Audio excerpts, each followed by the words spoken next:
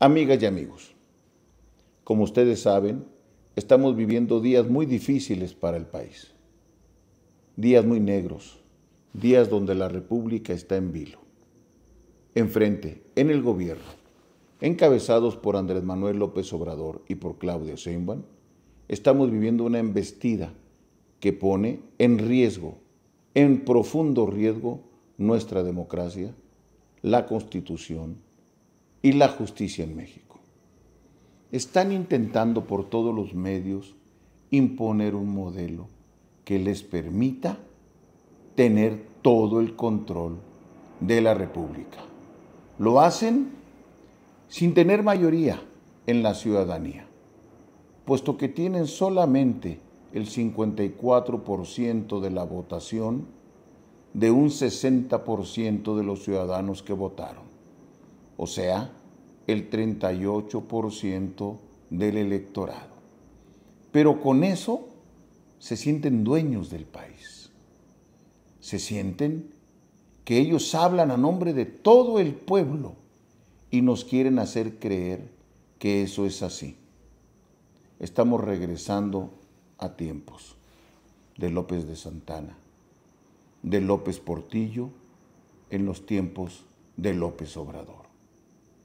Por esa razón, y con mucho gusto puedo decir que estamos teniendo hoy tiempos también de resistencia. Los jóvenes, los trabajadores del Poder Judicial, sus jueces, sus ministros, están dando la batalla. Y debemos los que somos de la sociedad civil acompañarlos. Hay que resistir esta embestida. Y hace el día de hoy logramos o se logró que los partidos políticos del PRI, del PAN, de Movimiento Ciudadano y sus senadores hayan reafirmado los 43 legisladores que van a votar en contra de la reforma que quiere destruir al Poder Judicial. Que estos 43 senadores lo hayan hecho de manera tan digna, no tiene otra cosa que corresponder de nuestra parte más que un agradecimiento, porque no están votando por un interés particular, están votando por la patria, están votando por nuestra democracia. Pero no basta que ellos lo hayan hecho ya, necesitan respaldo porque viene la peor embestida. López Obrador, lo he dicho muchas veces, aún no vemos al peor López Obrador. Va a ir con todo, los va a hostigar, los va a tratar de comprar, los va a tratar de coaccionar, los va a amenazar, les va a sacar juicios con o sin razón va a intentar imponerse Andrés Manuel, nunca se da para atrás. Andrés Manuel va a ejercer una enorme presión sobre estos 43 personas, hombres y mujeres que de manera digna están hoy resistiendo esta embestida. Necesitan nuestro apoyo.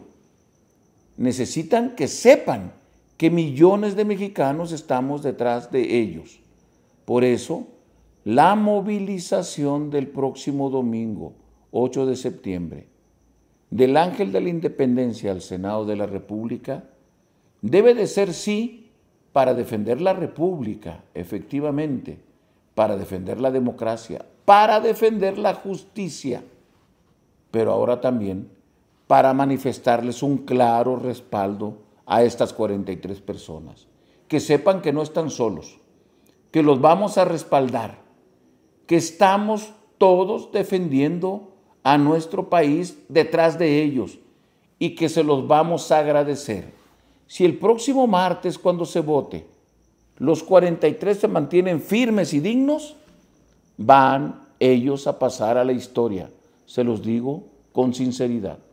Van a pasar a la historia como gente demócrata, como gente que no sucumbió a las amenazas o al dinero y que respaldaron a nuestro país. Por eso, los queremos invitar para que no falten el próximo domingo, para que nos miremos a las 11 de la mañana, más bien, 10 y media para que estemos a tiempo y salgamos a las 11 de la mañana.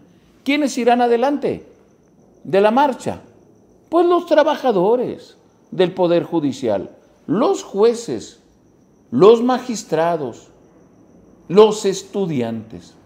En el Frente Cívico Nacional, como siempre, no nos importa marchar atrás. Vamos a caminar al final de esos contingentes porque no nos interesa ser protagonistas. Nos interesa defender nuestro país. Nadie de nosotros va a estar en el templete. ¿A quién está proponiendo esta organización ciudadana y otras organizaciones hermanas? Al ministro José Ramón Cosío, un hombre respetable, un hombre que es intachable.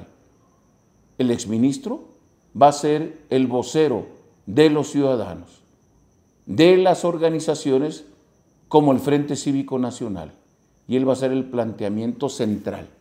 ¿Quién más va a ser orador? Seguramente habrá alguien a nombre de los estudiantes, de los jueces, de los trabajadores.